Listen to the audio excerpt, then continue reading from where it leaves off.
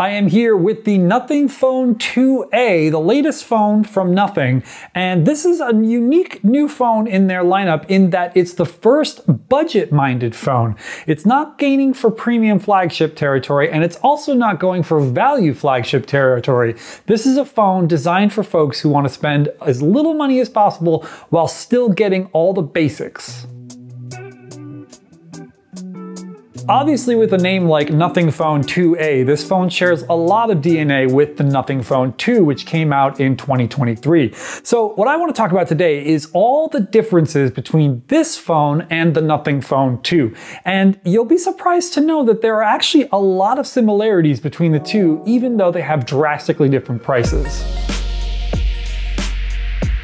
These phones are almost the same size. In fact, I would go so far as calling them exactly the same size. They may not measure exactly the same size on paper, but when you hold one up to the other, there's very little differences between the two. As you would expect, since the phones are basically the same size, their displays are basically the same size as well. And nothing even went so far as to continue using slim symmetrical bezels all around. This is usually a premium feature that you only see in higher end phones, so the fact that nothing has brought it to this cheaper phone phone is pretty cool. The displays also have the same glass, which is Gorilla Glass 5. This is an older glass, so it's not going to be as durable as something like you would see with the new Gorilla Glass armor on the Galaxy S24 Ultra, but it's going to get the job done. Even the buttons are basically the same size and in the same location. It's very clear that Nothing just took the basic concept of the Nothing Phone 2 and just transferred it to the Nothing Phone 2A. You may think that the Nothing Phone 2A and the Nothing Phone 2 have different cameras because they look drastically different, but they're not. The camera hardware underneath the camera module is exactly the same.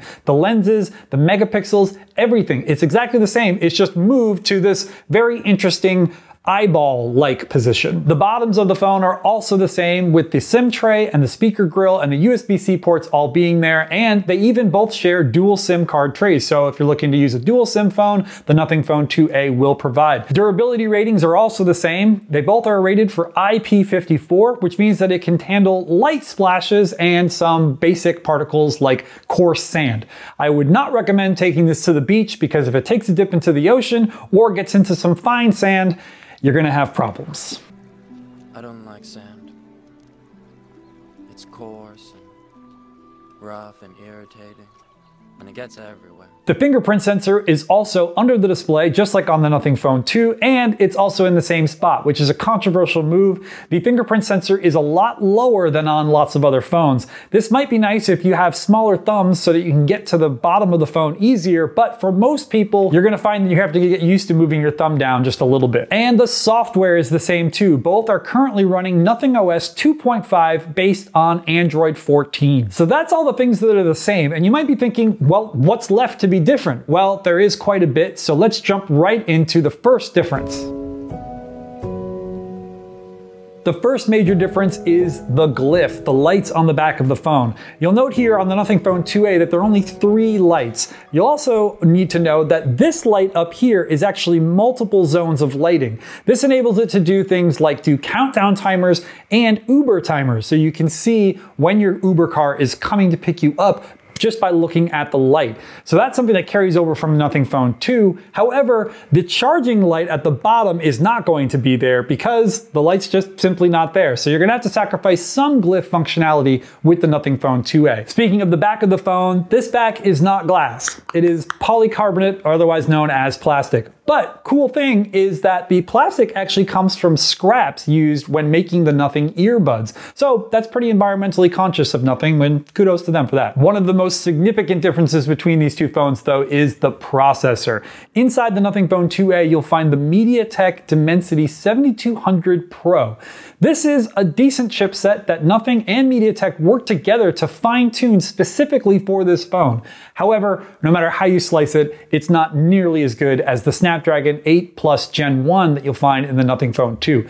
So if gaming and processing power in general is what you want, this one is not gonna cut it nearly as well as the Nothing Phone 2 will. That all being said, the phone's still gonna be good enough to do everything you need it to do. All your standard smartphone activities such as checking your email, browsing the web, checking social media, taking photos, uploading photos, all that stuff's gonna be fine. But if you really put this through its paces, the Nothing Phone 2 is gonna beat it hands down. Another major difference between these two phones is connectivity. So the Nothing Phone 2 is designed to work well in the United States on pretty much every carrier and all the network bands that you need. But the Nothing Phone 2A is not. That means that if you use this phone in the United States, you're not gonna get the same coverage as you would with the Nothing Phone 2.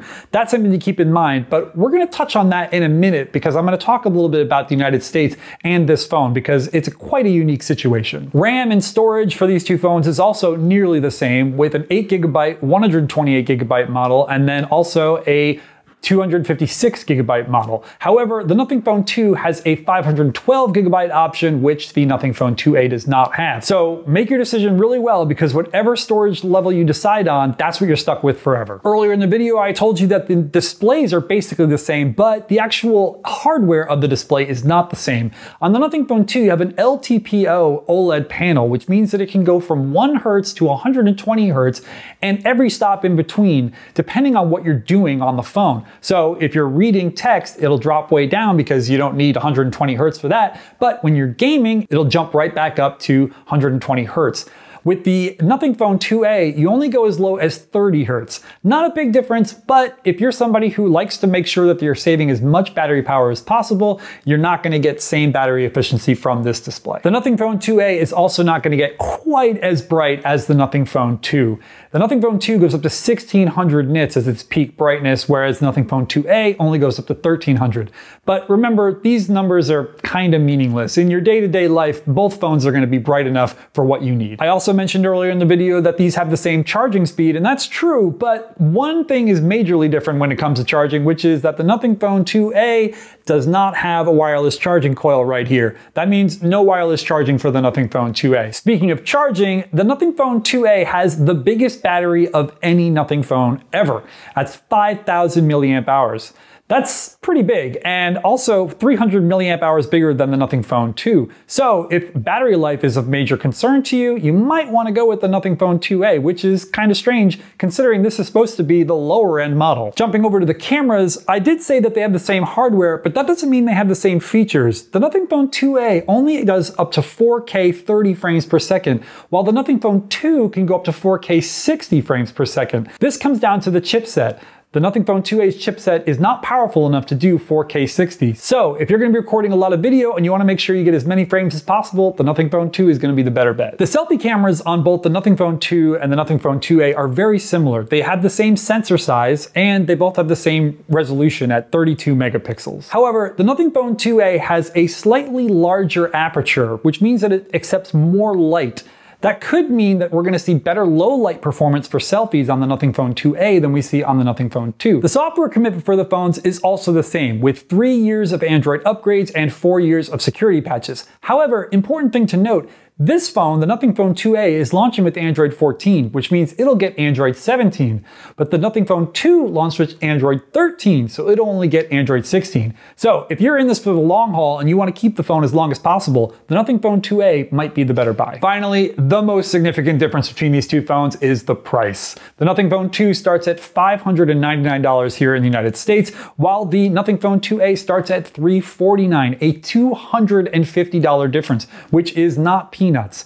However, there is a big asterisk here, which is that the Nothing Phone 2a is not technically available in the United States. In order to get it, you have to sign up with Nothing as a developer in their new program. You basically apply and then Nothing sends you a link to buy the phone. You'll have to accept some terms and conditions that tells Nothing that you understand that this phone is not designed to work in the United States. And if you face any problems using the phone in the United States, that's your problem and not nothing's. So you're gonna have to decide if that $250 is really worth it. But when it comes right down to it, these phones are very similar between each other.